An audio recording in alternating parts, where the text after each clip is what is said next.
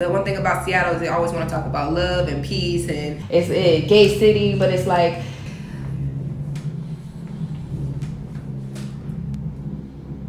Are they vacuuming Golly. I don't know what they're doing. It sounds like music and then vacuuming. Don't sound good.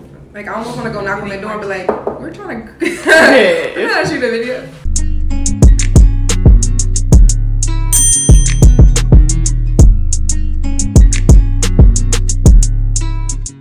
Welcome, beautiful people, to Beautiful Minds and Where is Neva collaboration. yes. Beautiful Minds is solely dedicated to art, mental health, and self care. And it's mainly dedicated to breaking stigmas that are associated with mental illnesses and making people feel more comfortable about Yes. talking about mental health Yes. and about talking about their diagnosis. You shouldn't be scared to talk about it. I have anxiety or oh my god, I'm so depressed. No, we're gonna talk about it. Like, what are you going through? Beautiful Minds is about sharing resources Mm-hmm. to help one another. It's about a journey and it's about learning your journey. And Yes. Yes. We all have our own journeys in life. I'm just very, very, very passionate about mental health because I have my own journey and my own story about behind mental health. I became empowered because I'm able to control my mind and I'm able to control myself and I'm able because eh, eh, there's a power when you're like, okay, I know what's happening. And I'm not about to let it happen like that. I'm about to control this and I'm about to take care of it. Whereas if you're powerless over your own mind, you just, that is just the worst feeling. Yes. And so yes. with Beautiful Mind, the whole mission is to break the stigma and to normalize mental illness and normalize seeking help, Yes. especially in the black communities. Finding mental illness in the black community has been something that's not normalized. It's like you crazy or you got this and that going on. It's like you can pray about it. yeah, pray about it. But it's like, see, you also can do the spiritual work, but you have to do the physical work too. And you mm-hmm. can't just do one or the other. No. You know what I mean? The Beautiful Minds, I just want to really normalize the conversation surrounding mental illness in our community. And I Mhm. really want to normalize seeking help and Yes. knowing that it's okay to seek help. I want us to also find our beauty in our mental illnesses because I is it really it. an illness? You know, it's I feel like it's an illness when you don't know have a remedy. You know what I mean? And like my remedy for my my um, anxiety, my depression has been art. And the things that I have created when I'm having an anxiety attack, the things that I have written when I'm depressed, has helped so many other people and mm-hmm. has been healing for me. Mm-hmm. Like, oh, I got that out. It feels so good. And if I didn't have depression and if I didn't have an anxiety attack, would I have been able to produce this? Yeah. You know what I mean? So it's like, is it really so bad? Mm. It's only bad when you have no control. It's only bad when you don't have an outlet. It's only bad if it's misplaced. Mm. And I think that's where the stigmas are associated with that. You know what I what I love mean? it. I love it. I love how we both have platforms that's educating and supporting mental health, you know, especially black mental health. So, Where is Neva is a multimedia platform supporting, inspiring, and loving on our black truth through storytelling. And with that, we focus on five pillars. Where are you physically, mentally, financially, romantically, and artistically? And within those pillars, we have our open diary, which is raw authentic truth you know like we we don't like talking about that truth truth you know that diary truth you Yeah. know we always have to censor ourselves Yeah. and so where's even a space where we can share that authentic truth and then we have guidance which is tips and tricks and tools to help you on your transparency journey so like i created a guidance post about six ways to protect your mental health um, and then we have our support system, which is the directory of mental and physical wellness experts globally who are African descent, who are doing the work. Because we don't talk about that either. Yeah. yeah. Uh, how mental health in the black community is not just only in the United States. When I went to Africa, I seen it there. And I seen it in Brazil. I seen it in different places. Mental health as a whole affects the world. Yeah. But when we talk about my community, oh, we getting that shit together. It's, it's our duty to do that Yeah. because our ancestors did so much to get to where we are today. We would be it would be a hot mess to not do more. Yeah. And they didn't have the resources we have today. No. They didn't have therapy. They didn't have life coaches, um, physical trainers, and stuff like that. So it's time to get our life so that we can build the generations beyond generational wealth. Yeah, for sure. And I think it's really nice that younger generations are doing it because we can also teach our older generations. I talked to my aunt about Auntie, you should get you, you should go get a therapist. Or if this is going on, maybe have you thought thought about grief counseling? I've had my aunts or my grandmother even say, you know, baby, maybe you're right. I never thought about that, and that's beautiful because you don't have to suffer. Not at all. There's there's Not so all. many resources now. Not it's all. not it's not like it was before. And we have to also understand that this trauma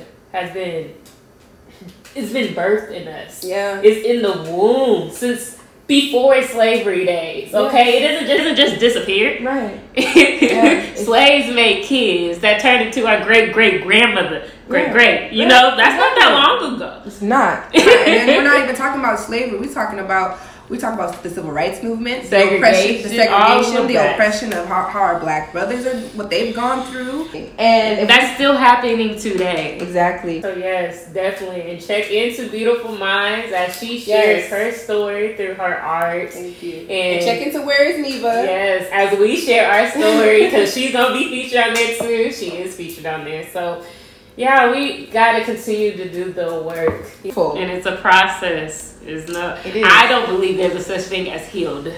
I Oh, think no. it's always learning and growing and Yeah. processing processing. Honestly, I don't think I'm ever gonna not need my therapist. Like- Well, we go not codependencies. yeah, yeah, but I feel like you. I think everyone deserves a guide. Hell yeah. It's not like not as like oh I need I need to no we gonna gain the tools and Yes. be able to Yes. heal ourselves. However, I always gonna need that guidance. And Yes, it's always okay to have yes. a guide through life because there's gonna be some things that you don't know about. It's like oh whoa let me talk to somebody about this. I need a, a mentor, my spiritual mentor. You know some type of guidance.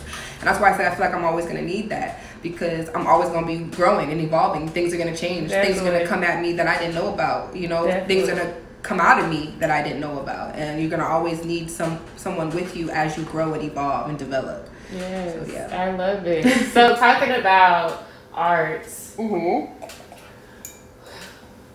what? How did art find you? Um, art found me, and I Wait, before you tell, Mhm. tell us what is your artist medium? What Okay, yeah. I am a visual artist, so I use acrylic paints, alcohol inks, anything I can find to create visual pieces of work. And then um, I'm a musician, so I write music too. I write music about my journey, about things I'm going through, and I'm a poet. I started off writing poetry first. That was my first. When I was younger, I would write poetry about what I was going through, not even realizing that that was a form of expression when I was younger. But then that transferred over into music. So I create music, poetry, and visual art. I've always been artistic, but I didn't really realize I was artistic. I just always liked art. Like that was my favorite subject in school. Everything. I ended up falling into a really deep depression in like 2017, and I was diagnosed with major depressive disorder and anxiety. When I got my diagnosis, I was so relieved. Like, oh, so this is what it is. Mm, So I'm not crazy. My nerves ain't bad. mm. Something wrong with me? okay, so now what? like, what do I do now? Is they're like, do I take a pill? Do I, what do I do to get rid of this? And it's like, well, there's so many different options. And I finally found a therapist, African American woman, and she taught me art therapy. And Yes. when we would sit down through our sessions, she said, have you ever thought about using art, you know, to express your feelings? And like, so we would talk about certain things, and then she said, pick a crayon or, or a color associated with that emotion, draw it here. And I would be in the session crying, like, and drawing these pictures. And then after it, I'd look at, look at the piece, like, oh my god, I can't believe I just, I just made that. Mhm. But it was so beautiful. Mm. So my therapist introduced me to that. When I would have anxiety attacks or feel anxious, I would just sit down and I would paint through my anxiety. I'm you know, but I would always try to use bright colors because I didn't want to display the dark colors. Even though the Mm. feelings are dark, I would try to use the most, the brightest colors. If I'm feeling really, really bad, you can get a real bright painting. So I would just start creating all these works of art, and a friend of mine seeing one of my pieces and was like, wow, this is beautiful. this looks like you were kind of conflicted right here. The way this, Wow. and I was like, that's exactly how I felt. How did you know? Because I could tell by the way the strokes of the brush were. It looks like you didn't really. Okay. And I was like, yeah, that's exactly how I felt. I was conflicted about a decision that I had to make, and that's why I painted this. She goes, you should sell your work. And I was like, "Psh, nobody's gonna buy my stuff. And she's like, no, you should sell your work. Mm-hmm. I went to some local art shows here and people started buying my art and I was shocked. But that boosted my confidence. Look at these people looking at my art and loving it. And like I see them look at my paintings and go, wow, wow. And they look at it and I'm like, you have no idea what I was going through when I painted that. And I'm so happy that there's some, that you see the beauty in that. Yeah. That's why I created the channel Beautiful Minds. I love it. that no matter like my mind was going through so much. yeah. Beauty came from that. Whoa. Yeah. Okay. So that's how I started my visual art journey, like literally through therapy. But my poetry, I've always used poetry. Like that has been my since I was younger. That was my my main form of expression. I love writing. I love putting words together. Like sometimes I'd wake up in the middle of the night and I'd wake up with a heavy feeling. I go on my phone and just start writing. Mm-hmm. And after I'm done writing, I feel so much better. Like a weight has been lifted off my shoulders. I You know. know, it, just, it makes me feel so good. Like if I could just do art all day, and that, that's all I want to do. I don't want to do anything else. I want to teach other people how to do art. I want to do art. I want to sing. I want to make music. I started doing uh, spoken word here in Washington. There's like some speakeasies that a friend of mine used to host. I remember like I was so afraid to, to share a poem about um, abuse. I was in an abusive relationship and I was really afraid to share a poem about that that I wrote. But when I shared that poem, I, I ran off the stage. Right after I was done sharing it, I ran to the bathroom to hide because I was like, I just told all these people what I went through. They're gonna judge me. When I left the bathroom, a girl came up to me. She said, I have a protective order in my purse right now from someone who ha- has been abusing me. Thank you. Mm. Thank you Mm. for sharing that. Wow. You make me feel strong. And then she started coming to all of my art. Anything I did that was poetry, she would bring her friends and she would come. So then I realized the beauty in that. Like, Mhm. okay, not it's not for me. This is for y'all. Hello. That's what I realized. Uh-huh. And that's why that's when I was like, hey, now I want to make music. Yeah. Because music can reach so many so many people. I have an EP that's dropping on the 20th and it's called Therapeutic Music. January 20th. It comes out, Therapeutic Music. Yes, check yes. that out on all platforms. uh, Drop it. Say it again. What that? it's therapeutic music. Okay. Search Art Bae, A R T B A E. That stands for arts before anything else. Okay. Search that on all platforms to find therapeutic music. I have song about anxiety, about my depression, everything, everything I went through. It's literally uh, the whole EP talks about my journey through healing and everything I went I through. love it. Yes. So um, Yes. as I heal, as I'm healing, Yes. you're healing with me. So we're healing together. Okay. I want to keep bettering myself and healing myself so I can help others heal as well. And that's my main mission. That's what I want to do. We have to have our minds healed, keep our minds strong. I love it. Yeah, so that's how I found art. Like I said, it really found me. And that's who I am now. I am Art Bae, art before anything else. That is so cute. I love it. I love it. I love the meanings behind all of that. Congratulations. Thank you. Thank you. I know that I'm not the only artist at this because that's how we met. Then we did. We met at an art show. That's right. yeah, we And- were both selling art. One of the pieces of yours that I love so much is the piece where you took all the the, the, the dried paints that you had and you made Africa in the middle. Yes. It was like Africa, it was just the concept of taking things that people wouldn't use, things that are discarded. Yeah. That's what I looked at. Like, wow, she took the pieces that are always that are discarded. Who uses the dried pieces of paint? And to put this together and make that that something so beautiful like that. Yeah, that piece is called Africa's Universe. Yes. Yeah. So tell me, so am I? Is that how you made it? Did you take dried pieces? Yeah, I did, and then I collected it. And tell me a little bit about that. So- Why did you decide to use pieces that would be normally thrown away? Yeah, so um, I call myself a revolutionary abstract artist.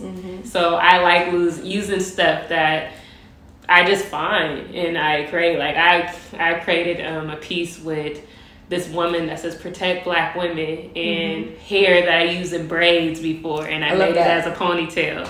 Um, I created, a, I did an illustration for someone, and I used kente cloth from Africa, where I just put it everywhere on her paintings and stuff mm-hmm. like that. I'm I'm all about recycling, you know, because to keep the world the way the world needs to be, we have to continue to use stuff that we usually throw away, you know? And I feel like that goes to goes with how we treat people. And the reason why I do Africa is a universe is because so many people have stole so much from Africa. Yes. Talk about it. Still to this they day, still, they are still stealing and from Africa. and we don't realize. Like before, I went to Africa the first time, I didn't realize how the world would not be what the world is without Africa. Mm-hmm.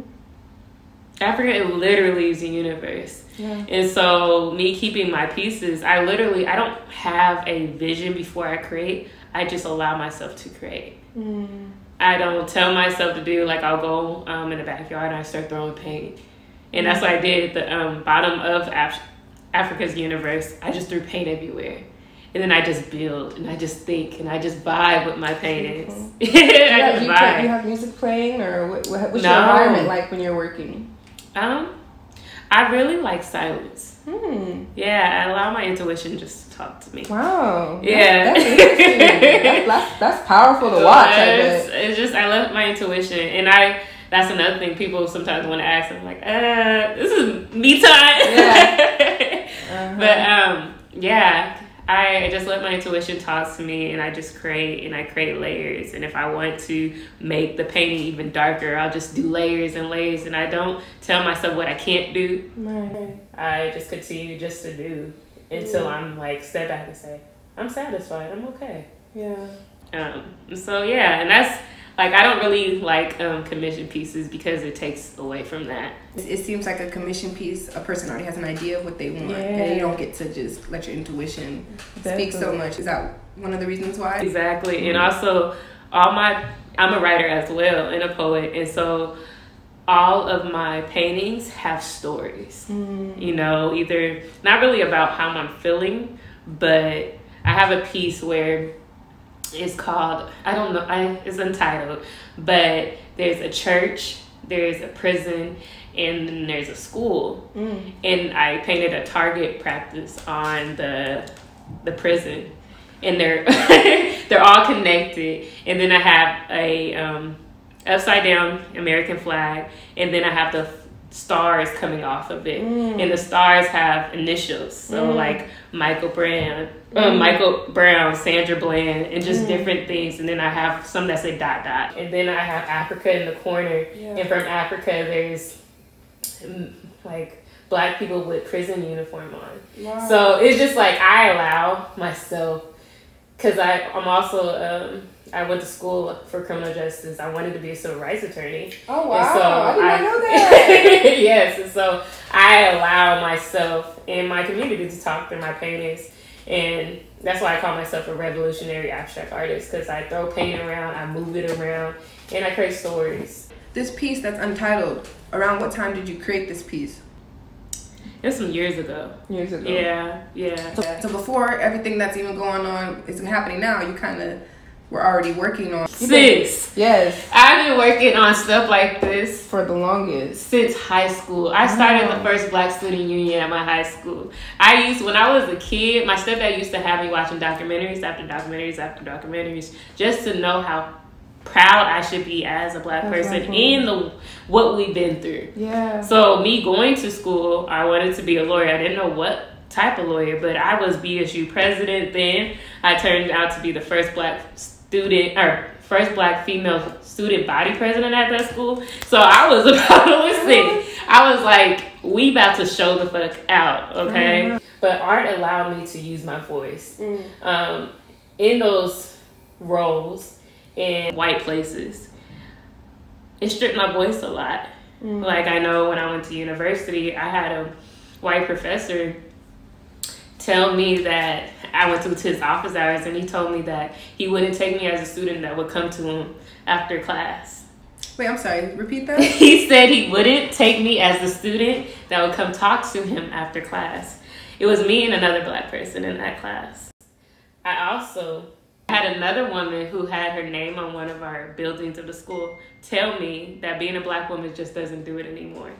And I was the student body president at that school. So, and then I wrote a paper. Um, my senior thesis was about police bias in Washington State and they did not like that at all. They did not approve my thesis, didn't want me to share it with the school. So when this stuff started happening during the pandemic, it made me so livid. It pissed me off because I've been doing this work for so long and we had to sit in quarantine to have conversations like this that needed to have. You know, it's just like it feels it's like there's no such pain as being numb to seeing people on the screen being killed off that look like you over and over and over again. So it's like when I when I paint and I go to these art shows, it was a perfect time to use my voice. So because we were in Washington and there's a lot of white people, they would come to my table, and I'm like, "Do you know Tamir Rice? yeah. Do you know Mike Brown? Do you know these people? I have this painting where um, it's Tommy from Rugrats. I know. I, I, and I painted him black, mm-hmm. and he has a shirt that says "I am Tamir Rice," and people look at that and it's like, "What does that mean?" And I say, and it gives me time to tell the story of Tamir Rice. Yeah, can you use some tissue? My eyes are burning. In the bathroom it gives me um, opportunity to explain who Tamir Rice is. We didn't grow up with cartoon characters that are black that look like this. That's right. And so when I painted these cartoon characters that I used to watch, I painted them black because this is not what I ever seen. Mm-hmm. And Tamir Rice was a black child who got shot by a police officer playing with a toy gun. Yeah. playing as a kid. Being a kid, doing what kids do. Thank you. Doing what kids do, and he got shot by a police officer. So I use my art so I can talk to people about their stories. Because their stories matter to me. Their stories are me. You know what I'm saying? That is why I go so damn hard. Because to be numb, to be numb, that ain't human. That ain't human. And I remember at, at one of the shows, this white woman came up to me and she asked me a question and she just was like, No, so what does this mean? And I was ready. I was ready. And so I told her, it was the piece of where I told you about the church and stuff like that. And there's a reason why I did the church, the prison, and the school by because terrorism, terrorism happens there too. People go to churches and shoot up the churches. Yeah. But really, this prison system is making so much money off of my black skin. mm-hmm. and that's where the target practice needs to be. Mm. Mm. You know what I'm saying? Oh shit, you guys have to make me go. But no, no it's like off, please. We need to. You know, we have to. Capitalism is literally the reason why we continue to be in the same situation that we're in. And so, when she came to the table and I told her, and she was like, mm, "That's okay." And like walked off. She didn't get it. She did. That's the mm. problem. She got it, but she was irritated mm. that I showed up as my authentic self because I was fucking tired to be in places and spaces where they didn't want to hear my voice. Mm. Like after I told the president of the school about as as the student body president of what that woman said to me who has her name on the building of how she told me was she a white woman? Yes. About how a black woman doesn't do it anymore. And this was after i told her i wanted to go to law school. And she was like trying to ask me like how i'm gonna pay for it. And so um because she was saying that I, they're not i'm not gonna get scholarships and all that stuff because you know? Mm-hmm. anyway. You gotta be more than just black is what she's trying to say. Oh like the dean of students and the president of my school, you know what they tell me, Shakira? What they tell you, sis? Shh. because their money is way more important than my voice. They wanted me there. They wanted to use me. I went to so many I was a part of. I gave. I got them so much money, so much money, by speaking at different events, by sharing my story. But sharing my story raised so much money. That year was like one of the years that they made the most money off of um, a gala, and they told me to hush. And after I graduated, they went hush. they were nowhere to be found. I'm and so then I mean that's when I like lost my father and just a whole bunch of stuff started happening. And so like when this started happening with the pandemic and all the stuff, it made me livid that I had to like step away. And I was just like, I don't want to deal. And it what makes me even more upset, it ain't just the white folks that make me upset. It's people that look like me that now want to open their eyes. Now they got 2020 vision in 2020, act as if this didn't happen before. Like this is new. George Floyd ain't the first one. No. no. this has been happening way before Emmett Till. But it's not. My thing is, I wonder, is it new to them, or is it because we have allies they feel comfortable and it's like okay now we can talk about it i believe that that could be one of the issues because we didn't know it was okay to be black and have a voice. Mm. But now that white people are standing with us, now we're like, oh, okay, it's okay now. Are we? I know one thing when I was in um, school, I wrote my um, paper in Washington about police bias in Washington State. Someone, a white, somebody white, was like, "Nah, you this this ain't real because this doesn't happen in Washington." And I said, but I literally did a snowball sample, meaning these are people that I've actually talked to that can vouch for this shit. And you gonna say that is not true? Because Washington is passive aggressive. Very. You know, it's Very. not like the South where they will come and call you the N word. They say the N word behind your back, or they would say, "I don't take you as a student that come to me after class." You know what I'm saying? And that was a whole month. Yeah. So that that says a lot about what they see and how they view you or value you. I you know I'll tell you I agree with you that Washington is passive. I've had some experiences here. I was in uh, Redmond, and I went to a, um, boutique over there, and you know I've never had this incident, and maybe I have had stuff like this happen to me before. I you know, but it wasn't until this incident where I had looked back at everything in my life and I realized how many times this had got brought up to me and I did not I was oblivious to it. Mm. I'm in a store and it was Asian run, Asian owned, and I'm in this boutique and I go to I'm getting ready to pick out an outfit and you you were there with me, right? And mind you, I was working at a bank downtown Seattle at the time, making money. I was working two jobs, you know. But I went in there on one of my off days, and I looked like I had like a tracksuit on, like I was working out type stuff, you know. How old were you? 23, 24, I think. So when I went in there, I went to go, I was trying to hurry up and get some stuff because I was going to go out with some friends that night. And so I'm picking out an outfit, you know, and I go to try on my outfit and then I want to get some shoes for my outfit. And but Redmond is a very uppity area, so I'm seeing all these white people go in there and try on their stuff, and then they come out and they go finish shopping. As soon as I come out of the dressing room and I get ready to go try to find shoes and other accessories to go with the outfit I just tried on, the Asian lady meets me right there and tries to grab my stuff and says, I'm gonna put this at the front for you. And I said, why? Do you wanna put my clothes at the front? Oh, because, um, you know, I need to protect my store. I said, well, wait a minute, hold on. I need to still find other things to match with my outfit. I want to get shoes. I want to get accessories. I just tried it on. I like it. I'm going to go get other accessories.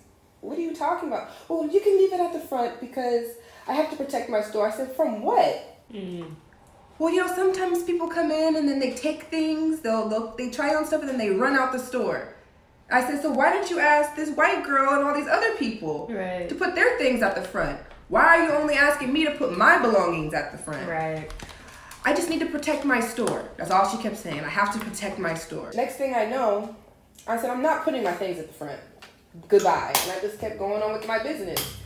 And then I hear her get on the phone and says, I need to see you down here. I just want to see you. Can you please come down? Who's she talking to? Oh. She's on the phone. I look up, security's down there. And I said, Did you call security on me? because I didn't want to put my things at the front. And the security guard just watching me, following me around the store. She was with me when it happened. I couldn't believe that. I was so upset. I'm like, do you know where I work? I probably make more money an hour than you do at this place. You're gonna call security on me? It's because I'm a black woman and you think I'm gonna steal your items. You think I'm the type of people that run up out of here. And that hurt me so bad. Mm. I couldn't believe it. And then after that happened, it was like a light switch came on, and I thought about all the other times stuff like that happened to me. Mm. And I was like, this is not the first time this has happened. Wow. This has been happening to me. And then it just hurt to think about all those things that I just dismissed and that I, and I didn't stand up for myself at those times. And I just let it happen, you know? And Seattle's very passive. Very, very passive at all. No, that wasn't. but I thought about all the yeah, other things no, that happened yeah. that were passive, and I just went for like, oh fuck this, I'm gonna stand up for myself anytime something like this happens. Like this is not cool. So after that experience, I realized like, wow, that's how it feels. Mm. What are my other brothers and sisters going through every day? I can't believe this just happened to me. I can't believe that. That has never happened to me before. Or has it happened to me before and I just didn't see it? Mm. Has it happened to me in subtle ways and I didn't realize, you know? And after that, I was hyper vigilant. Like, okay. Yeah. What'd you say? Yeah. Say. what? It's because I'm what? Ah, that's a little racist. Like, you know, I, and I'm, I'm calling people out on it, you know? And then they get uncomfortable when you call them out because, oh, I don't want to, I don't, I'm not racist. I'm not, okay, you know what? You don't have to be a racist, but you're prejudiced. You have preconceived notion about me because of the color of my skin. Mm. You know what I'm saying? Just like that woman had a preconceived notion about me. She thought I was going to steal because I, my skin is black. No, that was racist. I'm just trying to give people the benefit of the doubt. No, that was racist, and I feel like due to slavery and colonization, a, a lot of people are, and yeah, they, they don't claim that they are, but it's racist. It's bred in them. They can't help it though. Mm-hmm. Yeah. Mm-hmm.